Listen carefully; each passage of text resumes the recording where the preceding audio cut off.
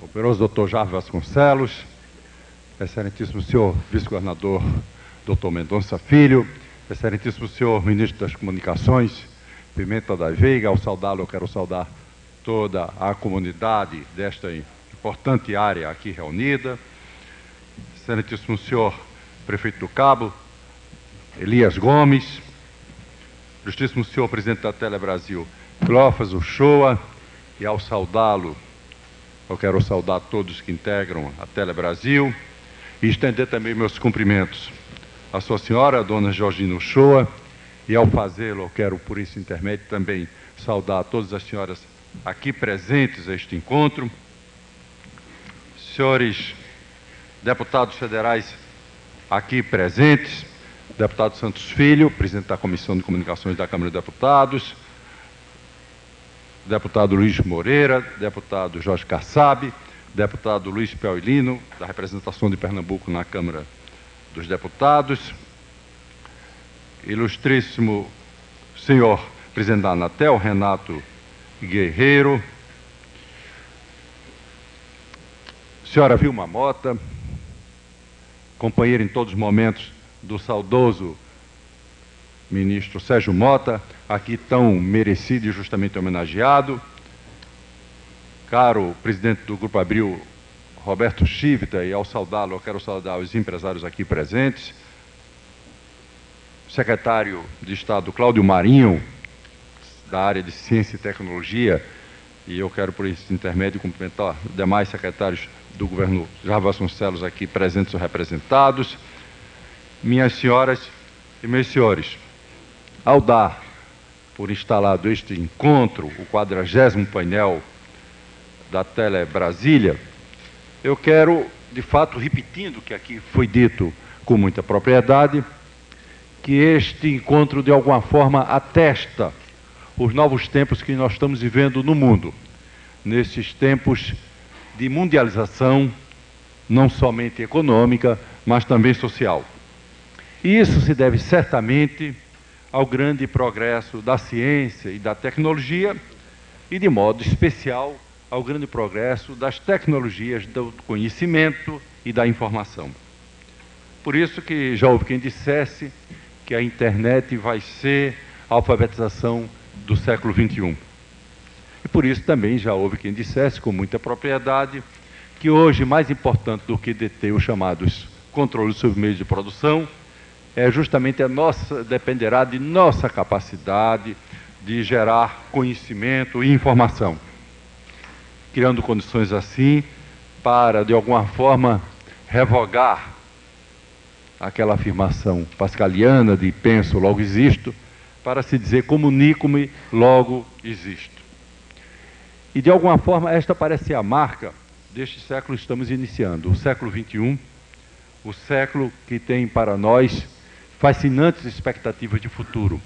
não apenas para o mundo, mas de modo especial para o Brasil. Ao aqui chegar, eu fiquei pensando, ao ver, ao verificar tanta gente aqui presente, tanta gente altamente qualificada, presente ou representada, eu fiquei pensando por que a razão de tantas e tão ilustres figuras. E tão numerosas em sua diversidade regional. E isso logo me faz trazer aqui uma constatação, que se deve também porque o Brasil não perdeu o bono da história. Isto é, graças ao governo do presidente Fernando Henrique Cardoso e de seu ministro, seu primeiro ministro de Comunicações, Sérgio Mota, obra que vem sendo seguida agora pelo ministro Pimenta da Veiga, o Brasil se preparou adequadamente para viver esses novos tempos. E prova do que afirmo, como foi aqui lembrado, foi a aprovação da emenda constitucional, que se converteu na emenda número 8, que permitiu fazer com que,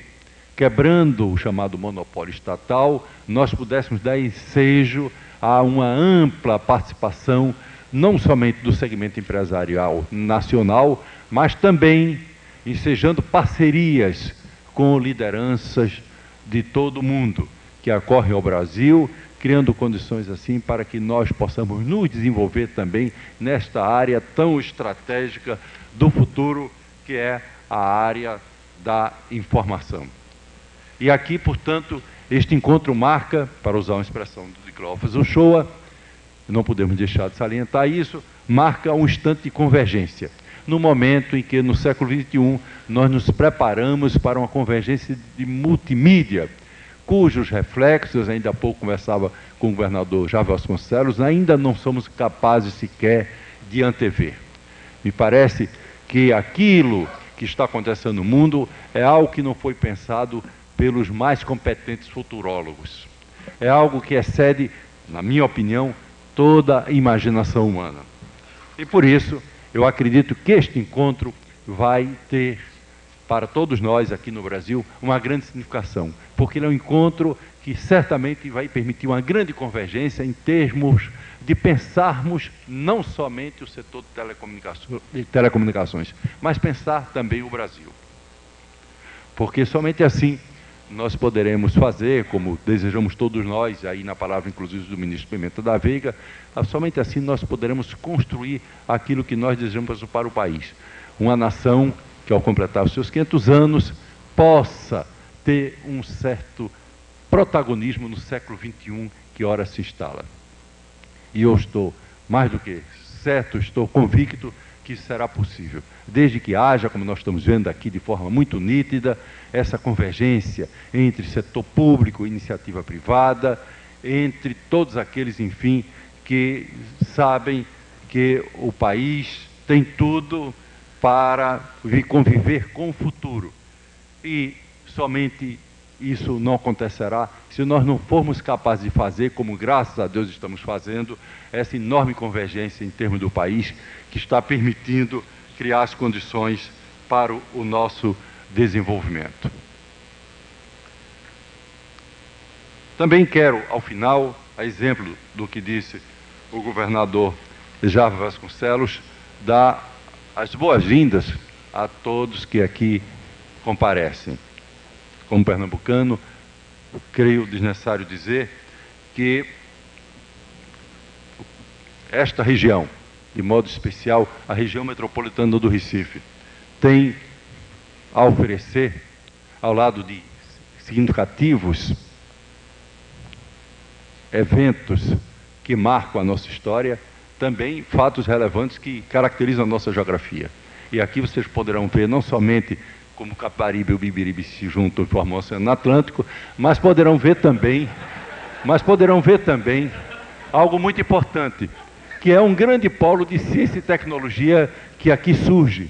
criando condições para que aqui também no Nordeste nós possamos viver esses novos tempos que tantos desejamos para o nosso país tempos, consequentemente, de um crescimento do, do Brasil, não somente integrando-se no mundo novo que surge, integrando-se através do Mercosul, integrando-se na medida em que se abre para o mundo, mas também integrando-se em termos do próprio país, na medida em que nós sejamos capazes de superar as desigualdades interpessoais, as desigualdades entre sexos, aqui lembrado por Vilma Mota, e também as desigualdades entre regiões. E acho que tudo isso é possível. Tudo isso é possível porque nós temos certeza que globalização significa integração, mas que globalização também significa a capacidade de nós, nesse processo de mudança, sermos capazes de manter a nossa identidade. A globalização pode ser a luz do mundo, mas a identidade é o sal da terra. E nós podemos compatibilizar globalização luz do mundo, com identidade, que é o sal da terra. E é isso que nós estamos fazendo aqui, nos reunindo aqui em, neste hotel, que é uma prova de que é possível fazer a junção desses dois grandes objetivos nacionais. Aqui, certa feita, segundo João Cabral do Melo Neto, Pison, ao verificar este território, disse que aqui era a terra mais luz da terra. E eu espero que esta terra, mais luz da terra, seja capaz de inspirar os senhores no instante que aqui se reúnem para discutir as comunicações, o Brasil e o seu desenvolvimento. Muito obrigado.